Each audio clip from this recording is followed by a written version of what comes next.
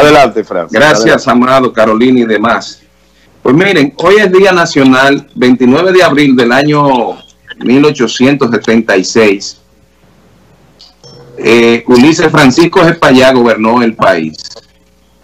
Y desde esa época, 29 de abril, y en condiciones de reconocimiento del buen comportamiento ciudadano, se celebra cada 29 de abril en la República Dominicana el Día de la Ética Ciudadana, que supone que es un ciudadano pleno con características excepcionales de buen comportamiento y que ejerce su ciudadanía de forma responsable, que es lo que idealiza al ciudadano pleno para mí, porque siempre he tenido una concepción de, de formar ciudadanos plenos en el entendido de que comprendan cuáles son sus roles y que en principio, antes de tomar eh, por eh, o abrazar las ideas de libertad y las ideas sobre todo de derechos fundamentales que tenemos, el ciudadano debe formarse o debemos formarnos en la idea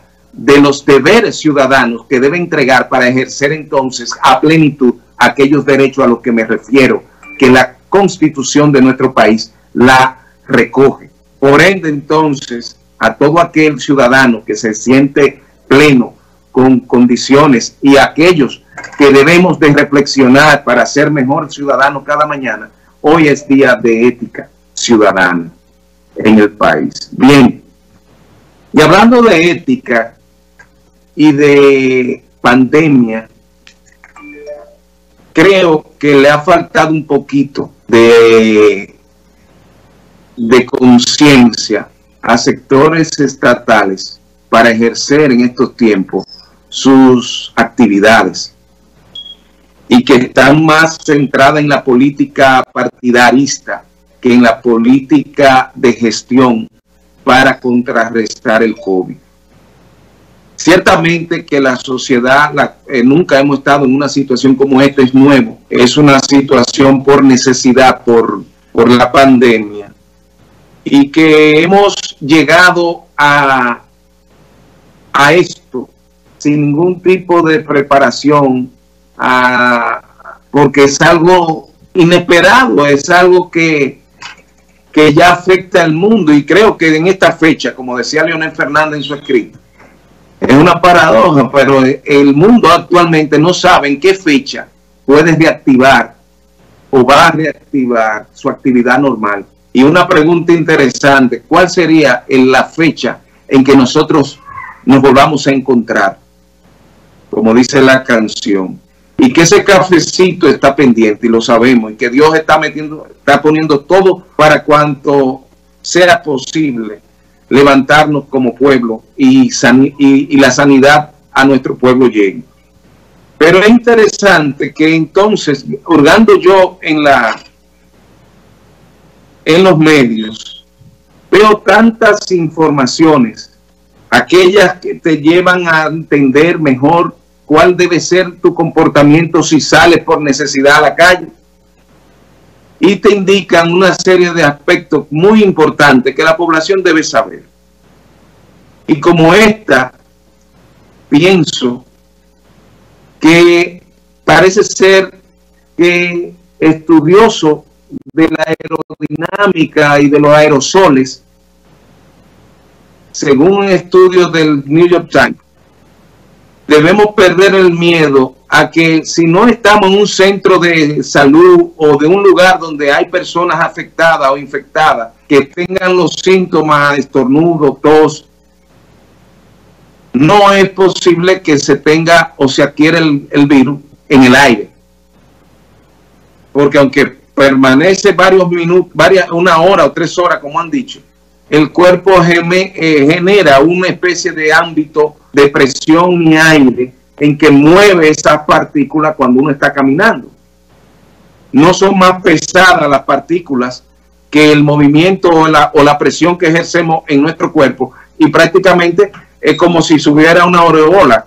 Tú vas despidiendo como pasa con todo.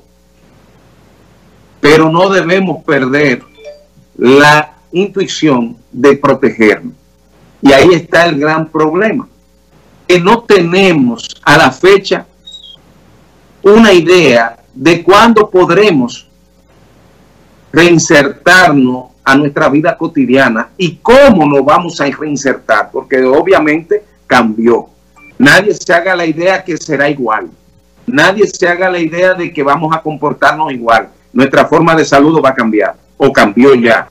Nuestra forma de trabajo tiene que adecuarse a, estos tiempos, porque vamos a manejar, por ejemplo, en el caso de los abogados, vamos a manejar gente, eh, documentos que van a ir de mano en mano, y eso tendrá su protocolo.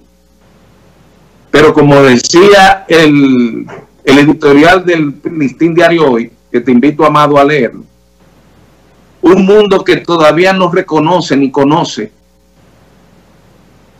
su origen,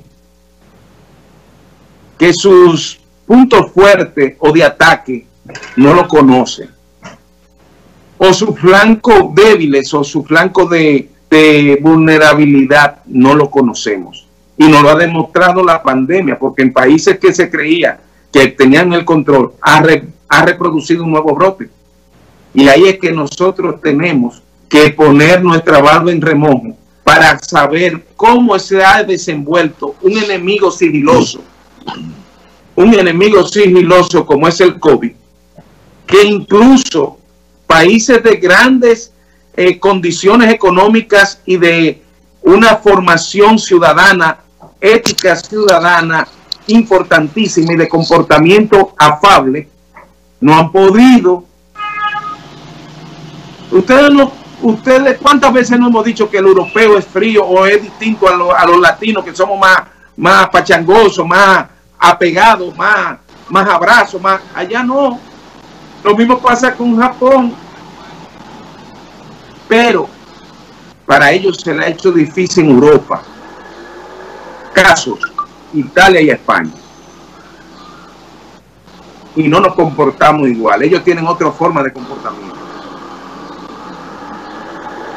caso, atención directa a lo que se ha pedido, es que en el caso de Corea del Sur ha salido airoso porque se decidió hacer pruebas masivas, diarias, hasta lograr tener una idea dónde se encontraba ubicado el foco o el lugar de infectación. Entonces, a todo este recuento que trato de hacer, ¿Cuándo podríamos nosotros reinsertarnos y de qué manera nos, reinsertaríamos? Hay muchos sectores que están presionando al gobierno a que aperture.